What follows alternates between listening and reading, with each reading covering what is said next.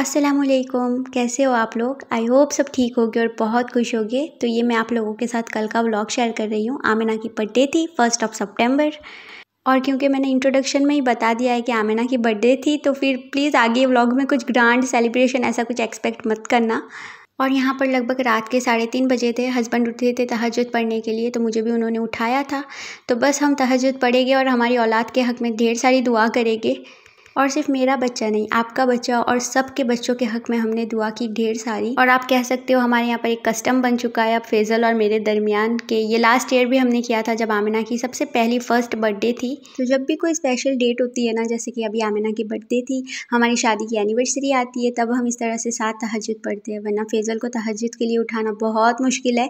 लेकिन ये सारी डेट पर ना वो खुद उठते हैं और मुझे भी उठाते हैं।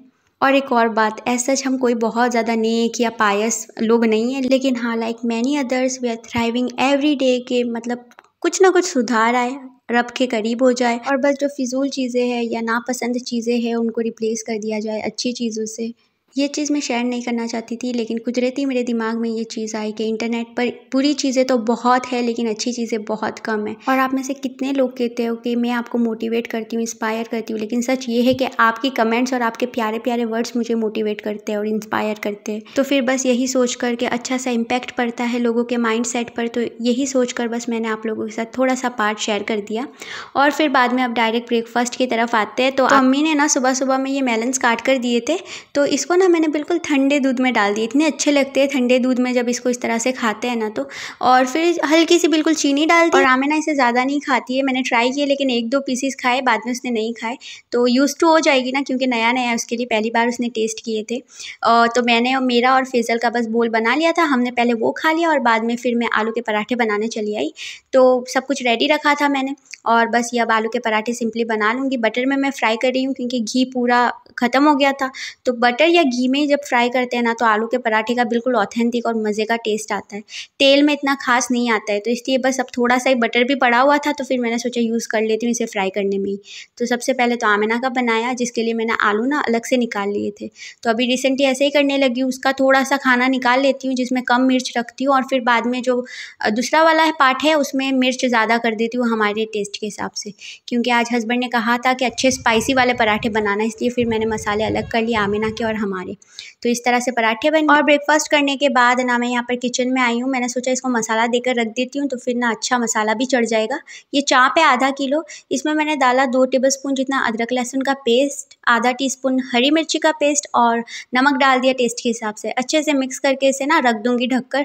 तो जब शाम को बनाऊँगी ना डिनर के लिए तो अच्छा खासा मसाला इस पर चढ़ जाएगा। लेकिन बहुत गड़बड़ी हो गई थी, बहुत लोचा हो गया। लेकिन फिर बाद में मैंने कैसे करेक्ट की ना अपनी मिस्टेक्स मैं आपको बताती हूँ। तो खैर, इसको मसाला देकर रख दिया। मैंने। और फिर जो घर के सारे काम होते हैं, उसमें मैं लग गई साफ़ सफ़ाई और वगैरह में।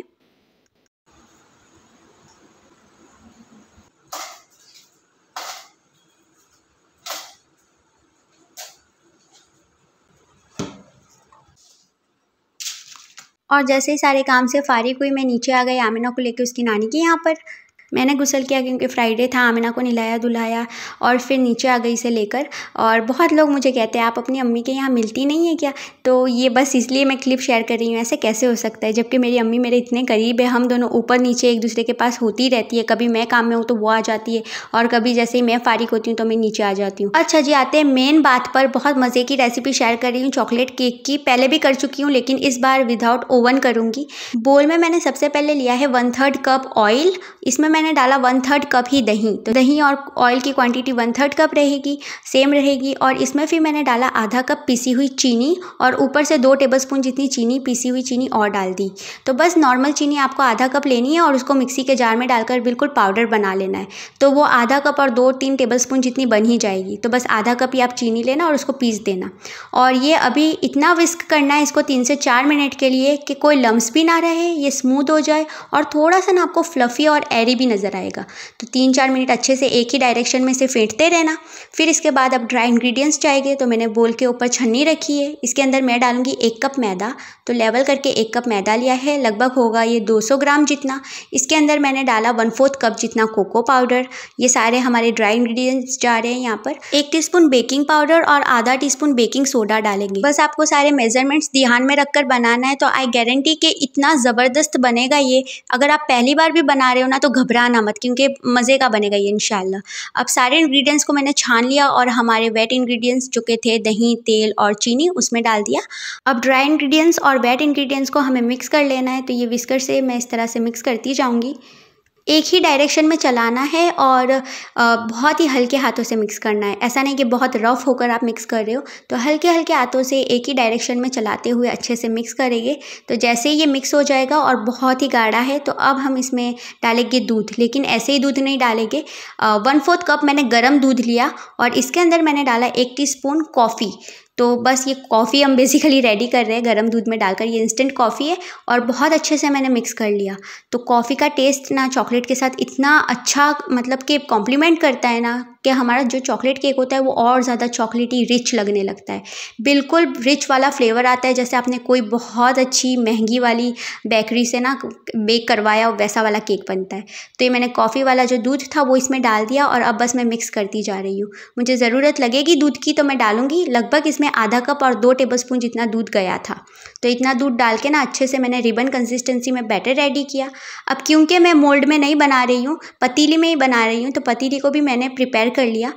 पतीली में मैंने थोड़ा सा ऑयल ग्रीस करके मैदा छिड़क लिया तो इससे केक ना अच्छे से बाहर आ जाता है। जब हम बेक हो जाता है ना तब। फिर ये देखो कितनी रिबन कंसिस्टेंसी है इस हमारे बैटर की। ऐसी कंसिस्टेंसी होनी चाहिए। पतीली में सारा मैंने खाली कर दिया। बोल को अच्छे से क्लीन करना है वेस्ट नहीं करना कुछ भी। थोड़ा सा टैप करूँगी और ये है हमारा देसी ओवन। बड़े से पतीले को मीडियम फ्लेम पर मैंने 12 से 15 मिनट के लिए रखा था। ये बहुत गर्म है इस वक्त पे तो बहुत एहतियात के साथ मैंने इसमें स्टैंड रख दिया, जो कि मेरे ये गैस स्टोव है, उसका ही मैंने रखा है, कोई अलग से नहीं है। फिर इसके अंदर पतीली जो बैटर वाली है केक के बैटर वाली, वो सेट कर दी इस तरह से और अब ढककर इसे मैं रख दूँगी। मैंने पतीले को मीडियम फ्लेम पर गर्म किया था, लेकिन जैसे ही मैं केक की पतीली अंदर रखूँगी ना तो इसे ढककर फ्लेम को लो कर दूँगी। तो लो फ्लेम पर मैंने लगभग तीस से पैंतीस मिनट इसे अच्छे से बेक होने दिया था। तो थर्टी फाइव मिनट्स में ये बेक अच्छे से हो गया था। पॉइंट नंबर वन के पतीले को प्री हीट करना बहुत ज़रूरी है, वरना केक आपका अच्छे से नहीं फूलेगा। सेकंड टिप ये कि लो फ्लेम पर ही हमें केक को बेक करना है। थर्ड टिप ये कि बार बार हमें ये जो लीड है, उसको हटाकर केक को चेक नहीं करना है। पंद्रह बीस मिनट के बाद एक आध बार कर सकते हो बीच में, लेकिन बार बार नहीं करोगे, वरना केक जैसे ही उसे मौका मिलेगा ना, वो डिफ्लेट होकर ना नीचे बैठ जाएगा और अच्छे से बेक नहीं हो पाएगा।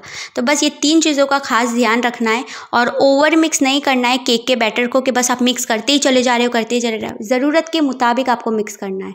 ठीक है तो यहाँ पर जब तक केक बेक हो रहा था, मैंने बहुत से अपने काम निपटा और ये 35 मिनट के बाद जैसे मैंने लीड हटाई, बहुत अच्छे से केक बेक हो गया था। और एक बात बताना चाहूँगी कि आप सालन वगैरह बनाते हो ना तो वो तो बच्चे के साथ भी बना सकते हो रोटी वगैरह तो लेकिन ये जो बेकिंग की चीज़ है ना, ये थोड़ी सी ना टिपिकल सी होती है तो आपको बच्चा जब सो जाए ना, तब कॉन्सेंट्रेट करके बनाओ, तभी अच्छा रहता है। तो आमिना जब सोती है, तभी मैं बेकिंग करती हूँ। तो ये मैंने बहुत एहतियात के साथ गर्म पतीली को निकाला, पतीले में से, और अब इसे मैं ठंडी करूँगी। ठंडा हो जाएगा ना, फिर हम इसे डीमोल्ड करेंगे मतलब पतीली से बाहर करेंगे। गर्म गर्म केक को कभी भी निकालना नहीं होता। तो ये जब गुनगुना हो गया, मैंने बटर पेपर रख कर ना इसे निकाल लिया पतीली से। छुरी से इसकी जो एजेस है, उसे छुड़ा लेना है और बाद में टैप करोगे ना तो ये आसानी से ये देखो निकल जाएगा। तो पीछे से भी इतना अच्छा बेक हुआ। और ये केक पर आपको छोटी सी खरोच दिख रही है ना, इसको माइंड मत करना, क्योंकि मैंने इसे ऐसे ही उल्टा कर दिया था बिना बटर पेपर के। और क्योंकि ये इतना मॉइस्ट और सॉफ्ट सा है तो इसकी ना थोड़ी सी पील हो गई प्लेट पे लग गया विच इज़ ओके क्योंकि हम अब आगे इसको डेकोरेट ही करने वाले हैं। कितना प्यारा रिच कलर है और इतने अच्छे से ये बेक हुआ है, बिल्कुल फ्लफ़ी क्रम्बली सा। अब चॉकलेट सॉस बनाएँगे हम केक के ऊपर डालने के लिए। तो मैंने आधा कप दूध लिया, उसके अंदर डाला वन टेबलस्पून कोको पाउडर और वन टेबलस्पून कॉर्नफ्लोर और अब इसे अच्छे से मिक्स करेंगे और बाद में हाई फ्लेम पर फटाफट से मैं इसे पका लूँगी जब तक ये बिल्कुल गाढ़ा नहीं हो जाता। तो इसे लगातार ना स्टर करते हुए पकाना है ताकि इसमें लम्स ना आ जाए और मैंने कोको पाउडर और कॉर्नफ्लोर ठंडे दूध में डाला था। ठंडा या रूम टेम्परेचर वाला दूध होना उसमें ही डालना कॉर्नफ्लोर और कोको पाउडर गर्म या गुनगुने दूध में डालोगे तो फिर लम्स बन जाएँगे। तो बस ये जैसे ही थिक हो गया गाढ़ा सा, मैंने चूल्हे से हटाया इसे और ठंडा कर लिया। तो अब केक भी ठंडा है और ये जो हमने चॉकलेट सॉस बनाया वो भी ठंडा होना चाहिए। तो इसे मैं केक के ऊपर इस तरह से पोर कर दूँगी। और अच्छी तरह सारी साइड्स पर मैं पोर कर रही हूँ। और जय ये थोड़ा बहुत अगर बच भी जाता है ना चॉकलेट सॉस तो फिर इसमें आप दूध डालकर मज़े का चॉकलेट मिल्क शेक बनाकर पी सकते हो। मैं ऐसे ही करती हूँ जब भी ये बनाती हूँ तो। तो ये मैंने देखो, सारा मैंने डाल दिया। अब इसके ऊपर मैंने चॉकलेट ग्रेट करके डाल दी चॉकलेट शेविंग्स जो कि बस डेयरी मिल्क थी मेरे पास, और इसे मैंने ग्रेट करके डाल दी। मैंने कोई भी चीज़ एक्स्ट्रा बाहर से मंगवाई या लाई नहीं हूँ मैं। जो भी मेरे पास घर में था, उसी से मैंने काम चलाया है। ये सारी चीज़ें कैडबरी वगैरह मेरे घर पर रहती ही है, क्योंकि आमिना उसके अब्बू के साथ जाती है ना तो ऐसे सारी चीज़ें कुछ ना कुछ ला रखती है।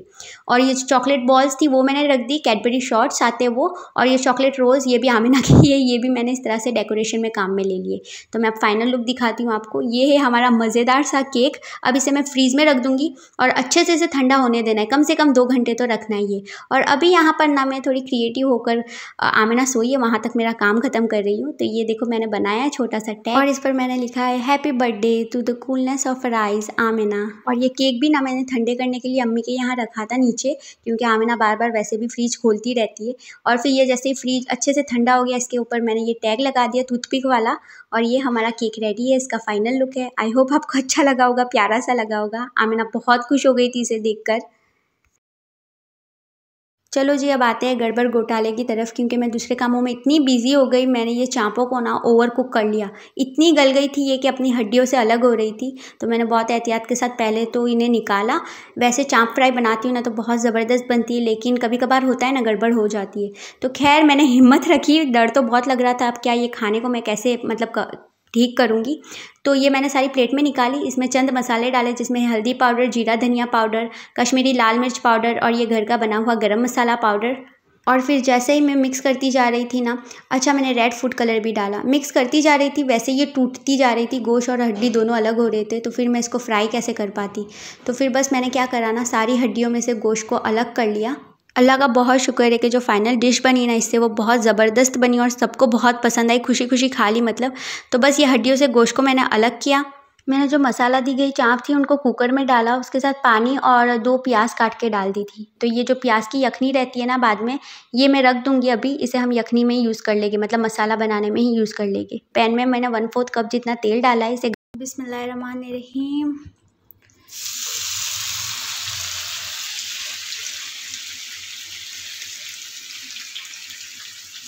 तो तेल में ये सारे गोश्त को मैंने डाला। मसाले को थोड़ा सा भून लूँगी ताकि कच्चापन निकल जाए सारे पाउडर मसाले का।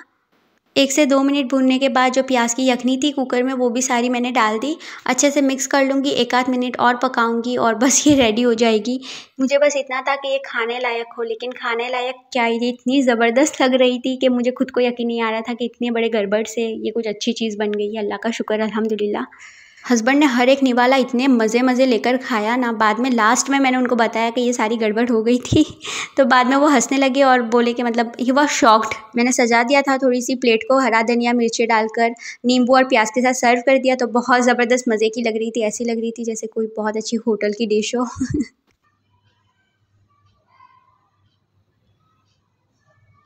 तो डिनर वगैरह करके फ्री हुए तो सबसे पहले मामा आमिना के मामा आकर बैठे थे।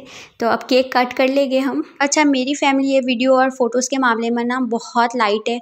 मतलब कोई ज़्यादा इसको ना सीरियस लेता ही नहीं है। सब जो मोमेंट में होते हैं जो पल में होते हैं ना उसको एंजॉय कर रहे होते हैं और ज़्यादा ना फो, आ, फोकस नहीं करते कि कोई हमारे फ़ोटो ले रहा है या वीडियोज़ ले रहा है जो कि मतलब अच्छी बात भी है। तो बस मैं तो ट्राईपॉड लेकर इधर उधर भाग रही थी कि कहाँ से मैं लूँ क्योंकि सब घेर कर खड़े हो गए थे कोई मुझे वीडियो लेने ही नहीं दे रहा था। ये खैर केक कट हो गया और मेरे हाथ में एक पीस आया तो मैंने फटाफट से ये आपको बता रही हूँ मैं कि ये देखो कितना फ्लफ़ी अंदर से सॉफ्ट और मॉइस्ट सा बनता है। और बच्चों को तो यही सारी चीज़ें पसंद होती है केक डोनट्स यही सब पेस्ट्री वगैरह। तो बस आमिना तो छोड़ ही नहीं रही थी केक को, उसके अबू ने ज़बरदस्ती थोड़ा सा मना कर उसको छुड़ाया क्योंकि वो ज़्यादा ही कुछ ओवर ही ईट कर रही थी। तो बस जी, ये था हमारा आपस में ही चार पाँच लोगों के बीच छोटा प्यारा सा सेलिब्रेशन हमारी अपनी खुशियाँ मना ली हमने। मेरे घर पे सबको ये केक बहुत पसंद है तो सबने मन भर के बिल्कुल खाया। और फिर भी थोड़ा सा बच गया था। और बच्चों के साथ ना ज़्यादा जो ये केक का डेकोरेशन है वो मैटर नहीं करता क्योंकि सारी तबाही मचने ही वाली है। तो आमिना ने पहले तो चॉकलेट बॉल्स जो थी वो हटा ली। मैंने ही हटाई क्योंकि वो ज़्यादा खाती जा रही थी उसे। और ये है जी आफ्टर मैथ केक का बस यही हाल बचा था और थोड़ा सा बस ये लेफ़्ट ओवर था। तो बस अब व्लॉग को एंड करते हैं। आई होप आपको अच्छा लगा होगा ये प्यारा सा व्लॉग मिलते हैं नेक्स्ट व्लॉग में इंशाल्लाह। अपना ख्याल रखें, बच्चों का फैमिली का ख्याल रखें। अल्लाह हाफिज़।